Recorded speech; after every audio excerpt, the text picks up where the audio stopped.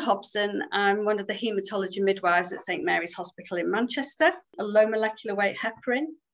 Uh, the syringes look like this, they're very slim and they have an orange flap on them here that you move out of the way. But before you give your injection, you hold it firmly like a pen.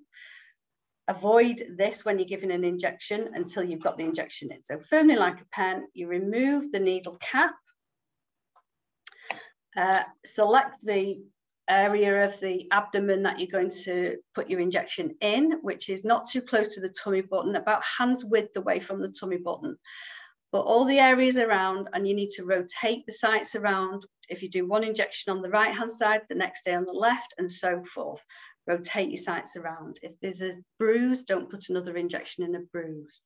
Use a different area. You can use the tops of the legs, the top upper outer thigh area. Um, some people like it, some people don't. Just try it. So when you're going to do your injection, you uh, select where you're going to do it, and then you just grab the skin and you pull it up. So pinch an inch, really, not too tight, not really pinching, but you pinch an inch up. Put the needle in at a 90 degree angle, put it to the skin and push it in. Then you plunge the syringe down, push the plunger down, down, down, slowly in. When it's got to the bottom, you release the needle out, release your grip, snap the needle into the orange flap and put it in your sharps box. On the skin, don't rub it afterwards. It will be a little bit stingy, 10 minutes, and it should be stopped stinging by then. I always warn people it's going to be stingy. It's like a little bee sting. It will go after 10 minutes. Don't rub the area. If there's a blob of blood or heparin liquid on the top of your skin, just dab it with a tissue and leave well alone.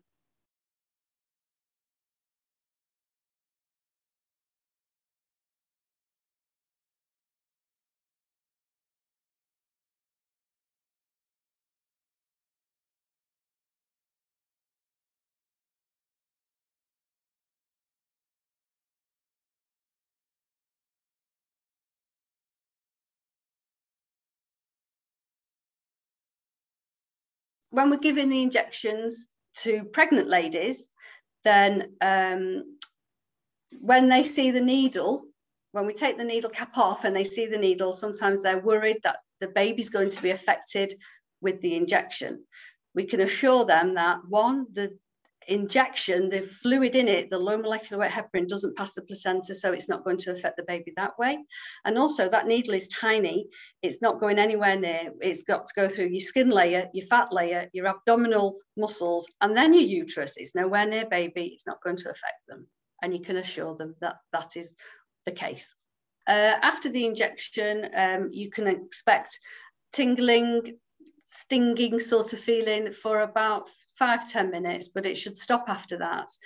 Um, you will get bruises occasionally and sometimes not. Sometimes you'll get a bruise one day and, and, and, not a bruise the next day. You're not doing anything wrong. It just is what it is. Sometimes you hit a little tiny blood vessel that's feeding the fat layer and you'll make a bruise. Um, just try and avoid putting another injection in that bruise until the bruise is gone. Sometimes you get little pea-sized lumps under the skin as well they will go away, but they take much longer. They can take weeks and weeks to go away. If they get red, sore, and angry, you need to see somebody about that. Also, um, some ladies or people develop allergies to this product, and it doesn't always happen straight away. It can happen six, eight, ten weeks after you've started it, and that presents in red, sore, angry lumps and around each injection site. It's very itchy around the injection sites. It starts off being a bit red after a certain, you know, after injections, and then it will go itchy and sore and it gets all dry. That's an allergy, and we need to change the product. Um, if you've got tattoos uh, on your abdomen, you don't need to avoid those areas. You can put the the needle into the skin area there where tattoos are. That's fine.